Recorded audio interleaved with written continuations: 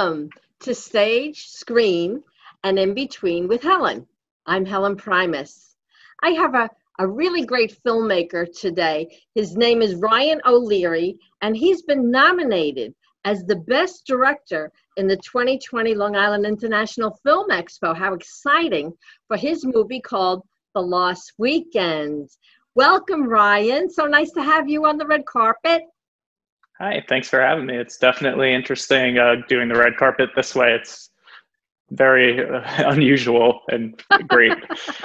it is. It's kind of convenient, isn't it? yeah, a little bit. so now your your movie is really very interesting. It's about online dating, and it's it's about uh, a Charlie Monahan, right? That has yeah. a, a rough breakup, and he goes online to try to find somebody new. So let me ask you this. Is this from some kind of personal experience of your own that you decided to write this, Ryan? Um, let me say, uh, maybe, maybe if it was, um, it's, you know, all the things that look good in the movie and make him seem like a cool guy, that's on me. All the stuff that makes him seem like a bit of a loser, that's definitely made up. Um, but yeah, yes, it's definitely based on some real life experience and, uh, definitely, uh, an unusual, you know, just kind of getting into uh, com- commenting on kind of today's uh, dating culture and how people meet and how people try to relate to each other and how they present themselves online one way versus how they do in real life and then how that affects personal relationships at home with family and friends. So.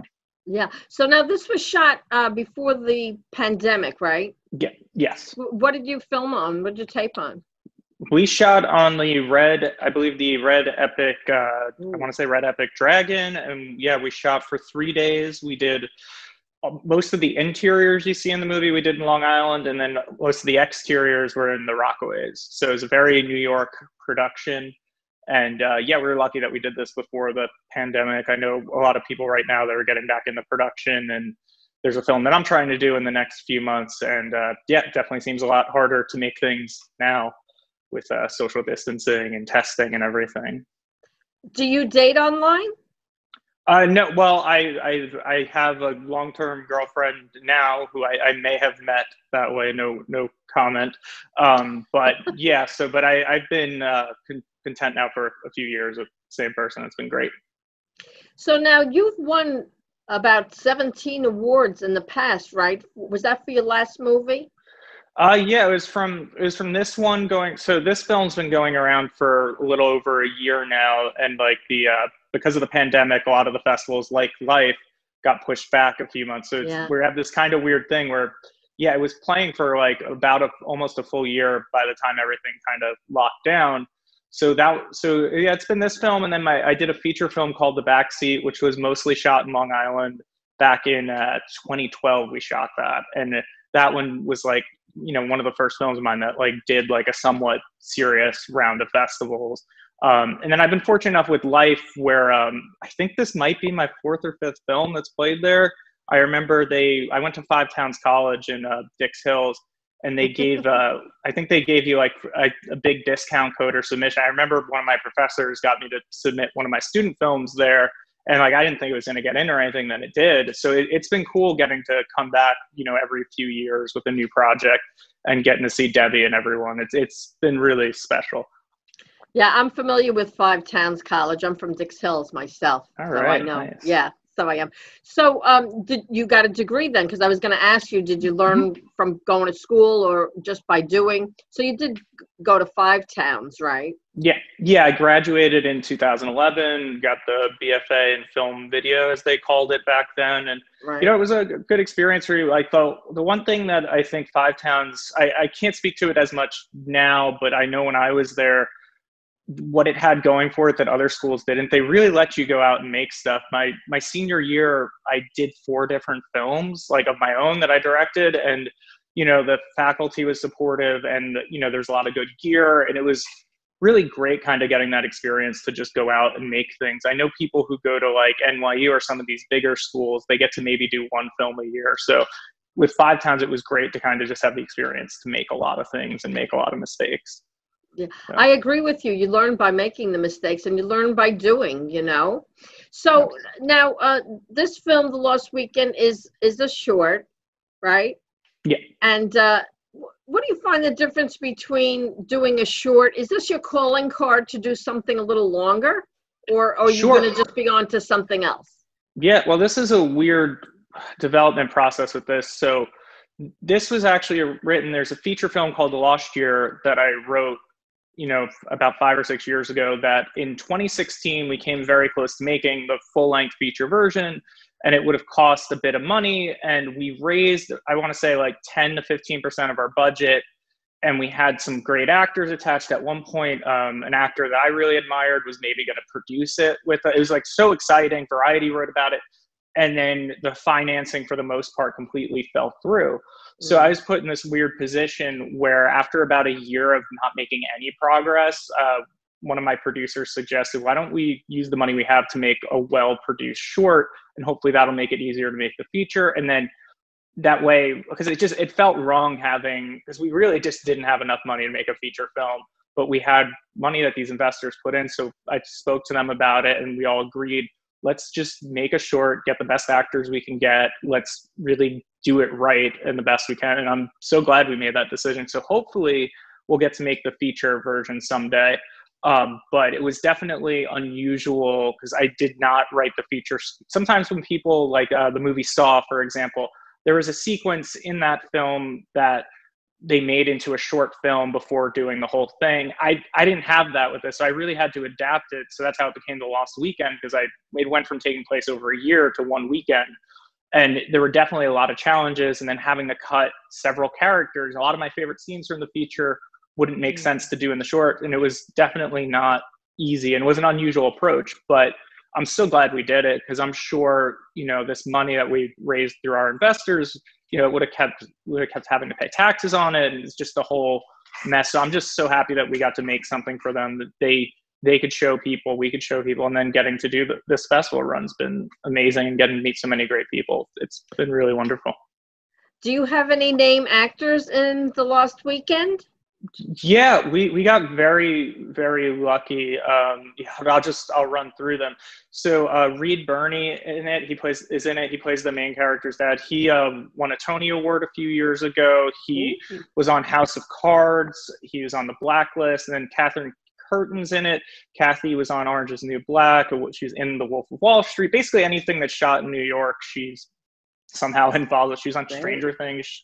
Um, then we have uh, Gracie Gillam, who's a good friend of mine now, who is in uh, Disney's Teen Beach movies.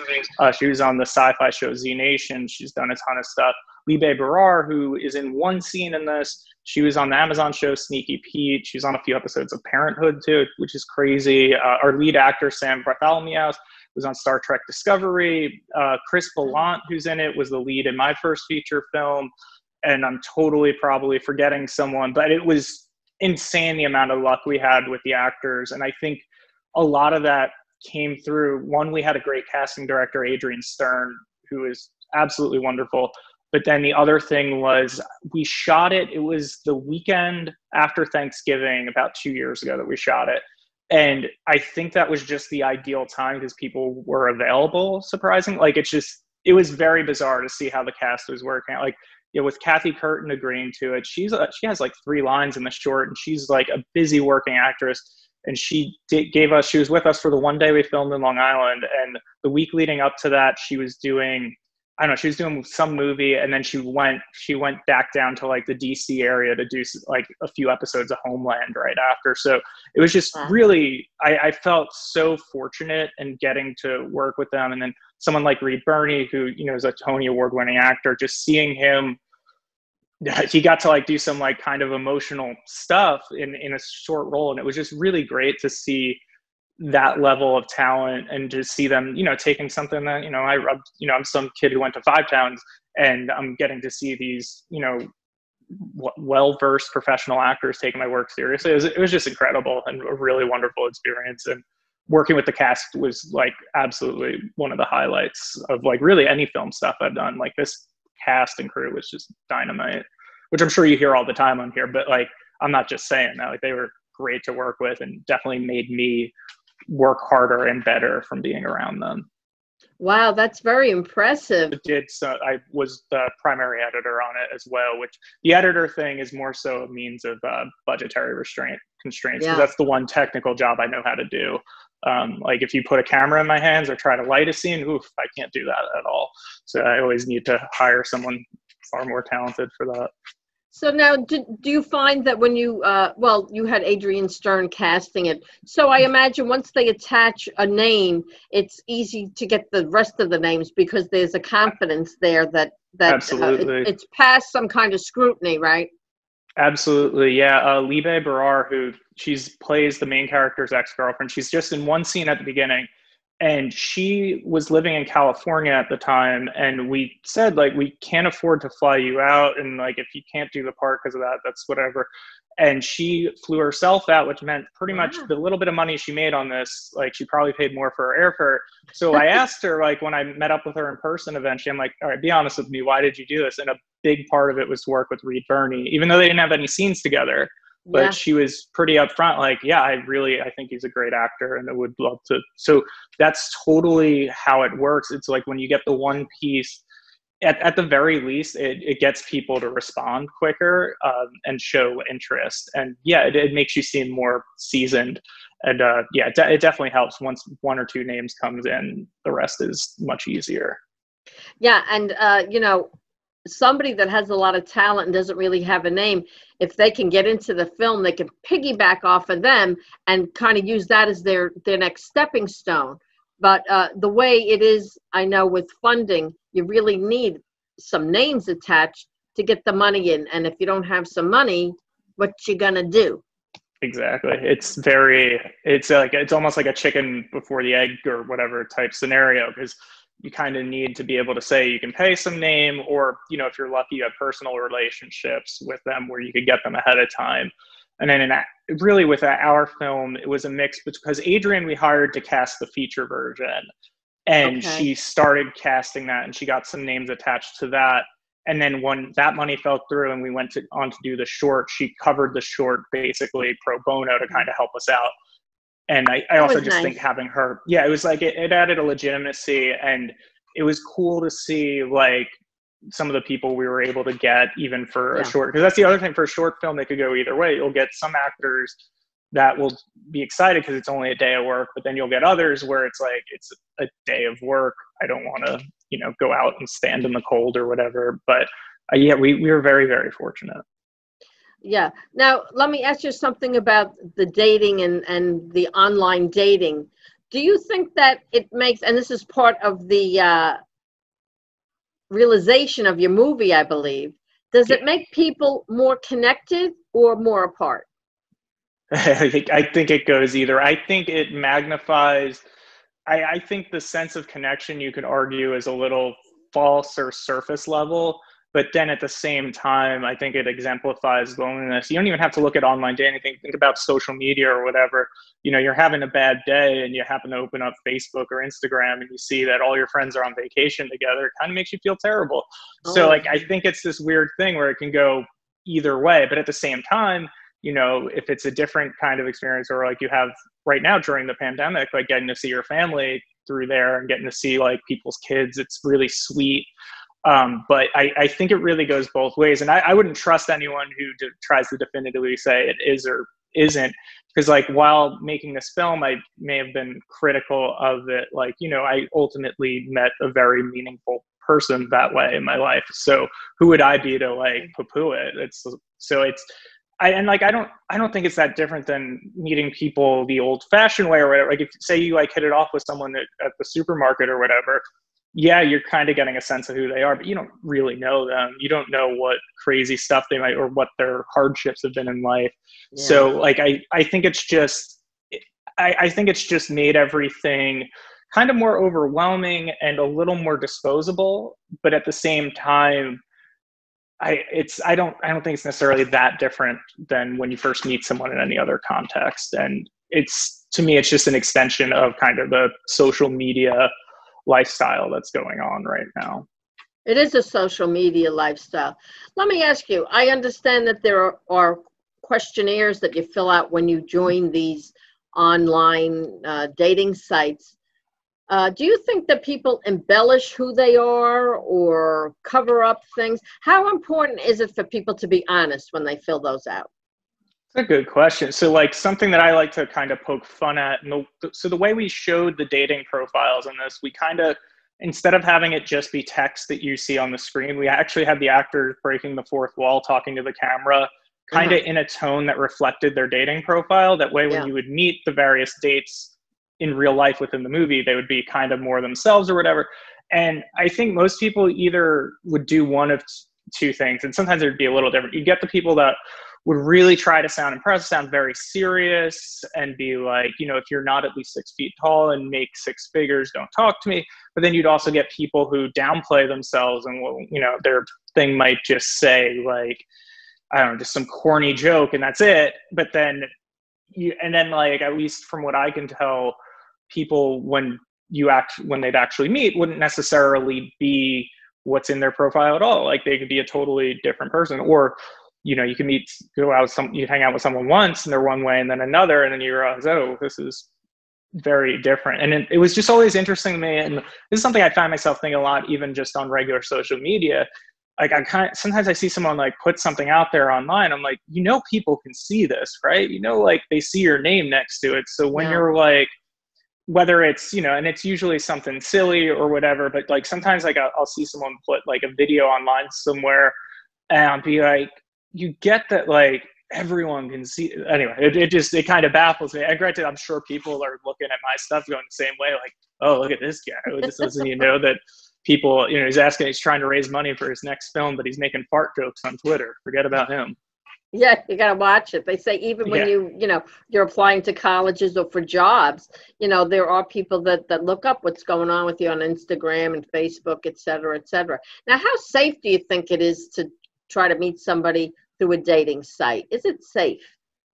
Um, I, I guess I think like you have to kind of take certain comments like, like common sense type things where you know maybe don't meet someone at their house if you've never talked to them or you know public places during the day i imagine you know i imagine that for a woman it's much more yeah. stressful and potentially dangerous but you know i, I think you kind of got to use your judgment and then one advantage i guess too is when people have their social media or whatever linked you could at least you could research someone before you meet yeah, them if you want and kind of get it. And even then you don't you don't know. So like i think you kind of got to use common sense and like also you know I, I hear things from people who would like have maybe like a friend that they would purposely have call them like a half hour into the date so they can easily get out of it if it's right.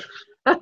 But i you know i think you can never be too careful and thankfully a lot of people for this sake at least with people being kind of so online with other parts of their life you could kind of look someone up and feel feel it out if it's going to be sketchy or not. How long should the first date be, and and and or meetup, and where should it be? Oh wow, that's that's a good one. Um, so I would say somewhere somewhere public and I don't know. Like I think the quicker the better, and then because you'll just know. I don't like and this is like keep in mind like i've been in a steady relationship now for a while so i haven't i thankfully haven't had to deal with this but i i yeah, imagine it is it is thankfully because it's not easy it's uh, I, I think it's a, a tense type of thing right for sure for sure yeah I, I feel very fortunate to be totally out of that world uh, for the and for the foreseeable future. I don't see that changing. But you know, I I don't know. It, and like part part of me thinks like, especially looking back, like oh, I wish I always like I wish I would always have an excuse to or somewhere else where I'm supposed to be. That way, you know, you could limit it to like an hour because, uh, and like also like this doesn't even just apply to that, but I I, I have a tendency to kind of indulge people too much and be polite and like if I don't actually have a reason to leave, like I'll you know like I'll hang out at a friend's house and if they try to get me to stay, I'll stay too long.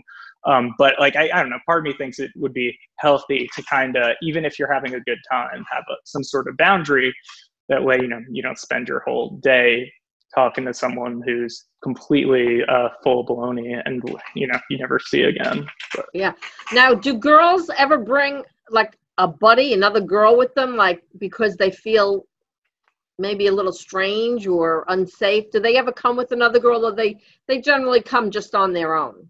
Yeah, I think I think on their own. I've I've heard of that before, or where someone will have someone like drop them off if it's like depending on where it is. Um, but yeah, like I, have heard of people doing. I don't I don't think I've actually experienced that, but I it makes a lot of sense. Like I, I definitely you know if I was in that the position. Problem, the problem is the guy might like the friend better than her, so you know they yeah, have to watch out. You never that. know. Yeah. I have a couple of questions for you. Sure. On on the first date, do you think the guy should pay the bill or split it? Okay, so this is something I always like my girlfriend and I I've, I've talked about before. To me, what I would judge someone for is when, as the guy, you go to pay. If the girl doesn't at least pretend to try to contribute, you can kind of be like, "Huh, I don't, I don't know how I feel." But if they at least go for the reach, and then you say, "No, no, no, I got it," that to me is a sign of good character. That you're like, "All right, cool. This person okay. wasn't just using you for a free meal." But so, um, so yeah. it, it's character more than the financial end of it. Yeah, it's not you're, not you're as trying much to find out more about the person. Yeah, well, I've I've just I've I've heard like kind of directly from friends of friends of uh, people who like usually it would be like kids in college, like girls in college who basically use a dating app to get free meals regularly, which like I can't blame them, uh, but they totally that's that's definitely a thing. Things are so expensive nowadays. I mean, you'd really be limiting how many dates a guy could take a girl on if he had to pay for everything nowadays, you know? Absolutely. Yeah. yeah. Okay. Would you prefer a date skiing, snow tubing, or a horse and sled ride, sleigh, sleigh ride in the snow? Uh, I, I think, all right, because the the horse and sled ride like that would be easier to like talk. Skiing would be great if if you knew how to ski which i don't. So i think snow tubing would be fun because then if it's if it's a you know if it's a bad date you just get on the tube and slide out of there and you, you know you pretend to get hurt or something be like oh i can't i can't be around you anymore sorry I, I, it might hurts. be it might be a long ride back home in the car though yeah exactly but that would be yeah i think i would do that because also on, on some level like I don't know. Yeah, go go for the thing that sounds the most fun, but also, yeah. yeah. Okay. Now, what would be another perfect date? Would it be going to a ball game, a concert, a winery, or a rifle range? Oh wow. uh, yeah, I I I like music and concerts, but the problem with that is if you're with someone who doesn't like whatever the band or the singer or whatever, it can be pretty not fun. So I think if you're actually trying to get someone to know someone, even if you're not don't like one, that would be the easiest one to talk. But then again, you go to some sort of shooting range. If the person's really terrible, you got you're loaded and ready. You could end it right there. But I wouldn't actually ever do that. Okay, what's your preference as far as uh, movies? Comedy, horror, mystery, love story, or musical? All right, out of those, I guess when comedies when they're good, which is like incredibly subjective. But honestly, even when I see a bad comedy, I kind of like to deconstruct why I don't think it works. And there's a lot um, to the craft of that. Um, I wish I was more into like horror movies, for example, because there's a as a filmmaker that's like one of the easiest genres to get funding for like where you don't even really need names because people really? people pay to see bad horror movies on purpose. Like there's an audience for it. But yeah, I, I guess coming out of those, and I, have been trying to appreciate musicals more. Uh, like every now and then, I'll see one that I like. But uh, yeah, and I, I don't know. I only saw West Side Story for the first time about a month ago, and uh, I thought it was okay. But like, um, but yeah. Oh, you had you had to see the original with George Chakiris. Yeah. And Natalie Wood. That that mm-hmm. yeah. You had to see that. Yeah. You have to see that one. Okay. So anyway, Ryan, uh, when is your film going to be shown? Tuesday, October 6th, 7.30. I want to give a shout out my friend Josh Johnson. His movie Alienated is playing at the drive-in as part of LIIFE. I don't know which day his is playing, but that's one that everyone should check out. It's pretty cool. He made a, you know, he made a sci-fi alien feature film for very little money in Long cool. Island. So I want to give give my friend a nice plug there because uh, I'm glad he's getting that experience with his first feature. That's his first feature. Well, good for him. Yeah. Good for him. Well, I I wish you all the luck. I mean, the best director. That's quite an uh, an honor to be nominated for. And you're such a young guy. Yeah, yeah, it, it's definitely an honor, and uh, it'll be exciting, and hopefully my ego won't get too out of control from all of this. Oh, I'm sure it will. Do you have a website where we can find out everything about you? Sure, I have a very out of date website, RyanO'LearyFilms.com, and then on Instagram, Twitter, most social media, if you look up The Bloody Mess, that's usually my username. And uh, The Lost Weekend has a Facebook page, The Lost Weekend Movie. We're out of time, and I want to say that it was wonderful speaking with you, and I know that you're going to have a very successful future. You really know what you're doing. Okay, thank you so much. This was wonderful. Bye, Ryan. I had a great Bye. time too. Take care. Bye now. Bye.